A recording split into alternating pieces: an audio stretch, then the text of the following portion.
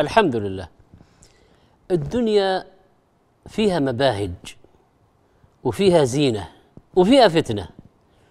طيب إذا الواحد أعجبه شيء من الدنيا وخشي أن يفتتن به بأي شيء يذكر نفسه؟ بآية ولا تمدن عينيك إلى ما متعنا به أزواجا منهم زهرة الحياة الدنيا لنفتنهم فيه ورزق ربك خير وأبقى. والحديث لا عيش إلا عيش الآخرة.